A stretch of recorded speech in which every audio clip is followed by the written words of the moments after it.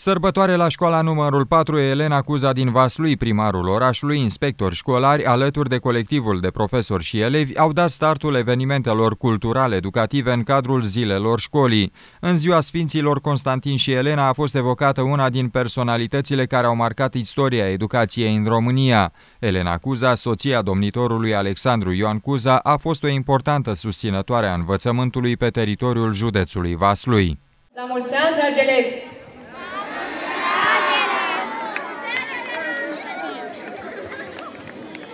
La mulți ani, la mulți ani tuturor, la mulți ani școlii 4, la mulți ani școlii gimnaziale Elena Cuza. Vă felicit pe toți cei care trudiți în această școală.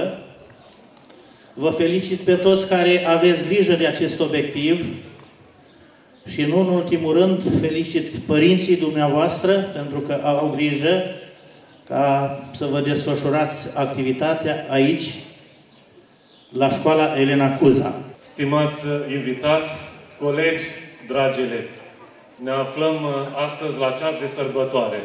Motiv de bucurie că avem în mijlocul nostru tineri deosebiți care fac cinste școlii noastre. Toți luptăm pentru același vis, de a-i face fericiți pe elevii noștri să-și construiască liber realitatea pe care și-o doresc. Zilele școlii numărul 4 din Vaslui vor continua cu expoziții de pictură, lansări de reviste școlare și lecții demonstrative pentru părinți.